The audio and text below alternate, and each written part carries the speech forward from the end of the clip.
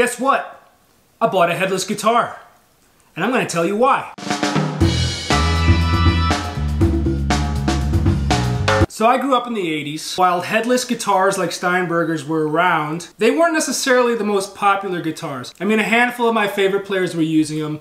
Eddie Van Halen, Vito Bratta. I think Johnny Winter was playing some sort of headless guitar. Maybe Leslie West, the guy from Mike and the Mechanics. Paul Stanley. I was never really interested in buying a headless guitar. It was just too futuristic. I was always into classic styled guitars. But for the past couple months, actually since Winter NAMM, I had been interested in headless guitars. Number one, I heard so many good things about the tuning stability because you get rid of the headstock and the, the angle that the strings break over the nut or whatever, or there's no nut, there's a zero fret. Whatever, I heard that they stay in tune pretty good. Number two, the weight was interesting to me. I'm getting old. I'm actually digging lighter guitars now. When I was younger in my 20s, I was playing a very heavy Les Paul Custom. I thought the heavier the guitar, the better the tone, and that's what it was. As I've gotten older and wiser, I found that I can get pretty good tones out of just about any kind of guitar design. But the thing that made me bite the bullet and finally buy a headless guitar was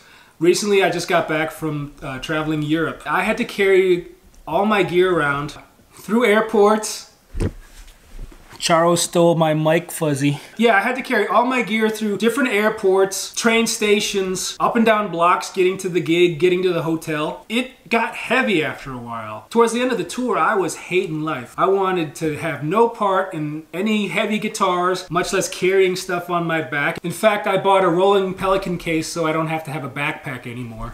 Can you see it?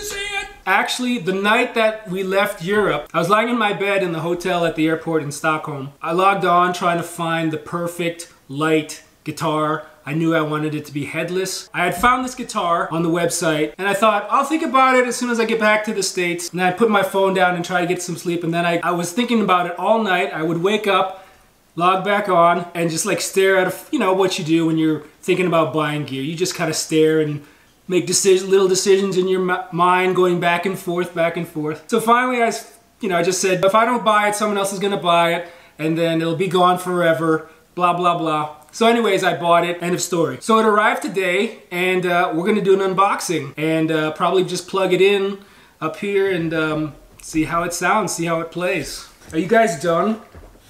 Can I do this unboxing? Sit. Good girls. Best girls ever. You wanna do this unboxing? You wanna do this unboxing? Let's do this unboxing. Here we go.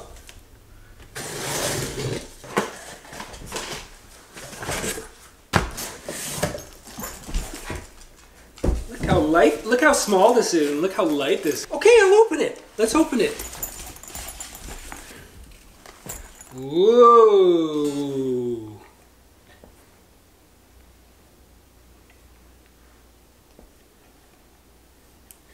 Wow, this is super light. This is the uh, Kiesel HH2 Allan Holdsworth signature. Um, it is super light. The scale length is 25 and a half, so it's like a Fender scale length. But this thing, ooh, this is kind of cool. 24 frets, gold. I don't know if you can see that. Gold frets. I've never had a uh, guitar with gold frets. No headstock. I've never had one of these before. This is cool. Uh, this is their Hipshot uh, bridge. God, satin finish. I really dig it. Push-pull tone so you can split the coils. Little small toggle switch, that's cool. And it's light! My god, the case it came with is really nice. It's got some uh, neck support, little baggies in the front, branding, course, Kiesel branding. And it's like the size of like a travel guitar, but it's like a real guitar. This is far out, man. Acoustically, rings like a really nice guitar. Okay, let's do some weights. So the Kiesel in its gig bag, seven and a half pounds. So I'm guessing the, the guitar itself is just right under six pounds. I think it said on the website 5.6. Now the lightest guitar I own, which I just took out last weekend for some fly dates, my LSL Telly T-Bone, in the gig bag I've been using, which is an old in case 18 and a half pounds. I'm already more than half the weight with the new Kiesel. I like those numbers. You guys want to hear it? Okay, let's hear it. All right, this is the first time I'm uh, plugging the HH2 in. I'm not plugging into anything cool. It's this Fender Mustang Mini. Sorry, Fender.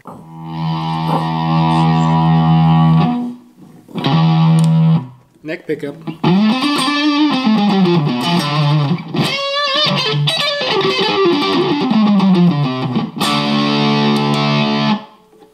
Bridge pickup.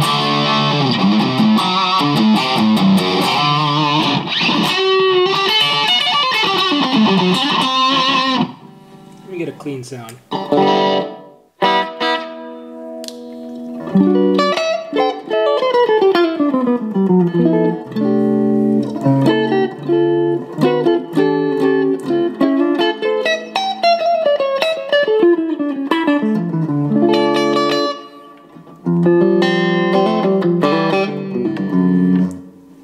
Man, this is kind of cool.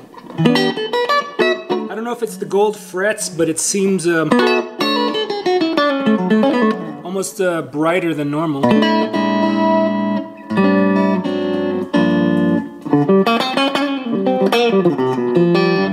Action's pretty low. I mean, the radius is not sure, maybe like a 14 inch radius. It's pretty flat. It's definitely a shreddy guitar if you want it to be.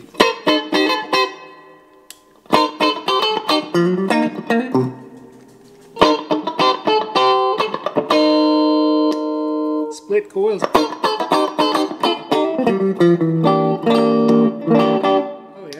It.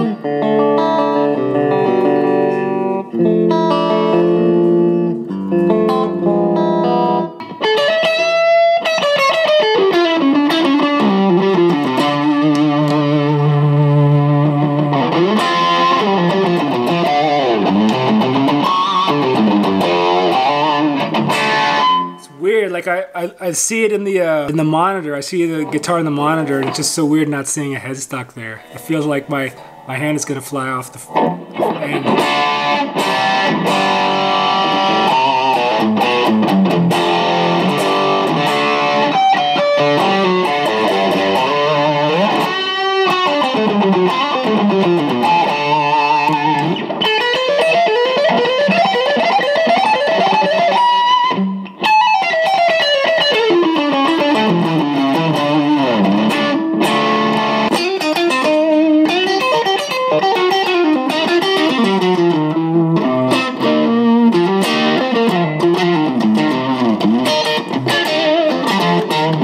Obviously, it's going to be set up with like a low action because Allan liked that. Where's legato playing?